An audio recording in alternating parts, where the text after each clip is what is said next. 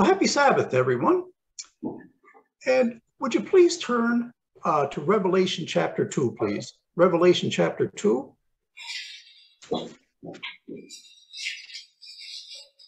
Now, the verses we're going to look at in Revelation 2 and chapter 3, these were covered in a sermon by Ray Statt six months ago in August of 2022. Now, these verses that I'm going to read here, 2 and 3, they either start with or are connected with the phrase, He who has an ear, let him hear what the Spirit says to the churches.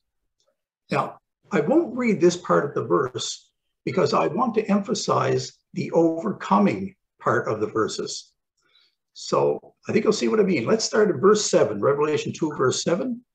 And uh, about halfway through the verse, it reads, verse 7 To him who overcomes, I will give to eat from the tree of life, which is in the midst of the paradise of God. Let's go down to verse 11. It reads again, partway through He who overcomes shall not be hurt by the second death. Down to verse 17. Again, to him who overcomes, I will give some of the hidden manna to eat, and I will give him a white stone, and on the stone a new name written, which no one knows except him who receives it.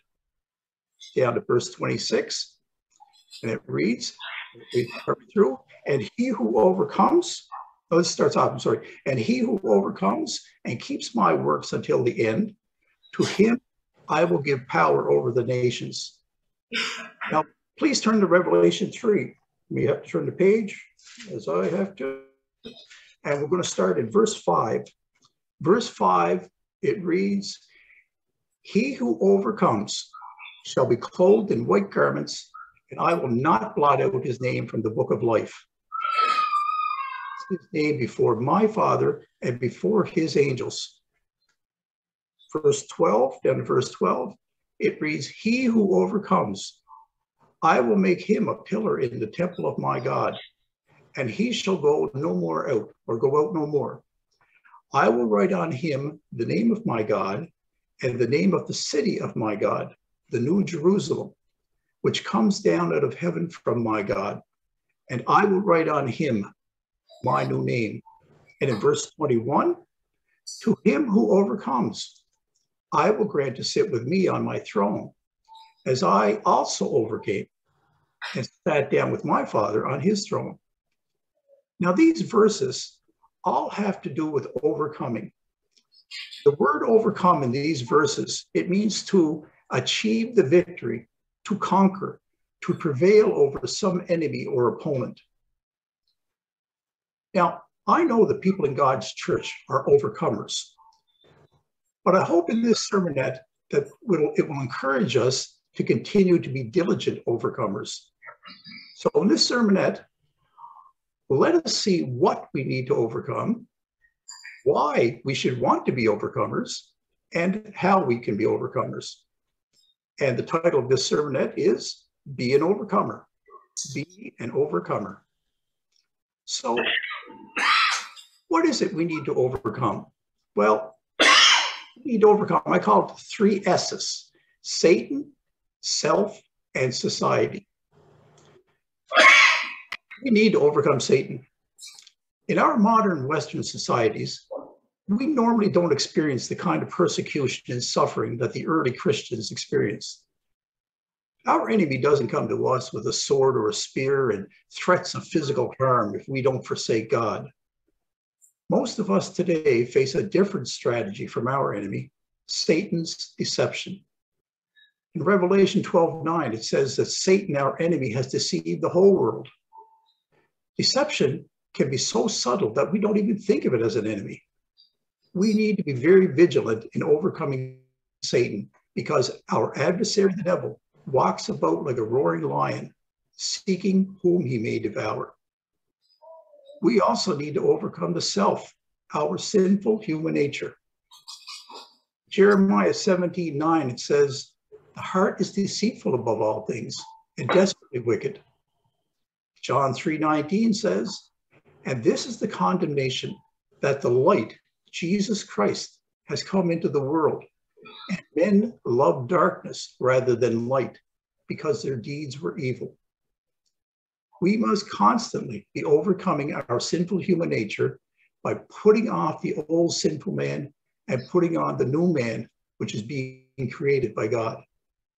We also need to overcome society, this world, this present evil age of government, business, entertainment, and media. It, it just seems to get more ungodly by the day. We as Christians, we are being spiritually assaulted by our societies to accept the new normal of sinfulness. We must not give in to the sins of society. God calls upon his people today to exercise the kind of commitment needed to overcome the sin that so easily ensnares us. So that's what we we have to overcome those those three things. Well, why? Why why is it we should want to be overcomers? Reading about all the wonderful promises overcoming brings in Revelation 2 and 3 that we just read, the right to eat from the tree of life, protection from the second death, power over the nations, and so on. Well, should, these should be reasons enough for why we should want to be overcomers. Let's look at a specific reason why we should want to be overcomers. Please turn to Revelation 21, and we're going to read ver, uh, verses 3 and 4. So to Revelation 21. All my verses I'm using today are from the book of Revelation. Why? Why should we want to be overcomers? Three and four, and verse three. And I heard a loud voice from heaven saying, Behold, the tabernacle of God is with men, and he will dwell with them, and they shall be his people. God himself will be with them and be their God. And verse 4 And God will wipe away every tear from their eyes. There shall be no more death, nor sorrow, nor crying there shall be no more pain, for the former things have passed away. Think of how it would be to live in a world where there's no pain, no mourning, no suffering, a world filled with the love of God.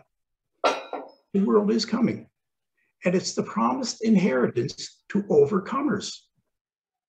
Under the rulership of our Father in Jesus Christ, overcomers will have the amazing blessing of helping to bring many sons to glory. We will be able to help billions of other people achieve the greatest promise of all, becoming members of the God family. That is why we should want to be overcomers. Well, how can we be overcomers? Well, let's look at two ways that we can use to help us to be an overcomer. And these two ways we are already very, very familiar with. The first one is controlling our thoughts. All sin begins in the mind. Our minds are the true battleground in our spiritual war. Controlling our thoughts is the key to overcoming. The book of James says, but each one is tempted when he is drawn away by his own desires and enticed. Then, when desire has conceived, it gives birth to sin, and sin, when it is full grown, brings forth death. Since sin begins with desire and desire is formed in the mind, overcoming sin must begin in the mind.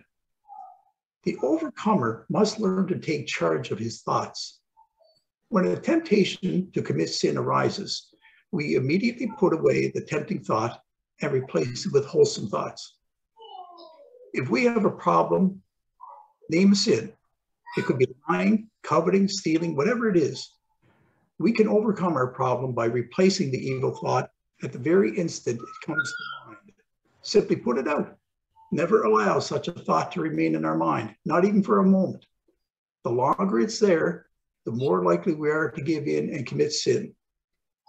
I was thinking this morning as I was praying, I was thinking about this, and I don't have this in my notes, but it, it's almost like that game. I think they call it whack-a-mole. It's, as I said, where it's a pop is in your mind, you know, you're trying to put it out. You, the, the game, you whack one mole, another one pops up. You whack that one, another one pops up. That's that's ours. That's what I'm talking about here. You know. Uh, now, reading the Word of God daily It will help us replace those evil thoughts and temptations that come our way. By filling our mind with the things of God, we will have more helpful information to draw upon in forming good thoughts to combat the bad ones. We can carry Bible scriptures in our pocket, use our smartphone Bible app to look up scriptures, up scriptures. When a, when a sinful thought enters our minds, we can take out a Bible scripture and read it, meditate on it. Memorizing scriptures it certainly makes the process of replacing our thoughts easier. And Philippians 2 5 says, Let this mind be in you, which was also in Christ Jesus. The second way, and I said these are very, very familiar to us, the second way that we can use to help us be an overcomer is prayer. Sounds so easy, but that's what we need. Every day we need to go to the throne of grace and pray to God for help in overcoming. Each morning, ask God to give us the help we need for that day and before retiring for the evening, close the day with a prayer of thanksgiving for the help we did receive that day. Be specific in our prayers. Our Father, He wants only good things for us and wants to help us. He loves us. God's Holy Spirit, we know it gives us a sound mind. Pray for God's Holy Spirit and that sound mind every day. Romans 12 21 says, Do not be overcome by evil, but overcome evil with good. As we approach the Passover and days of unleavened bread, let us continually in daily prayer or in daily Bible study and prayer, let's continue with that every day. And this will surely help us in our lifetime of overcoming sin. So, in conclusion, as Christians, being an overcomer offers great rewards.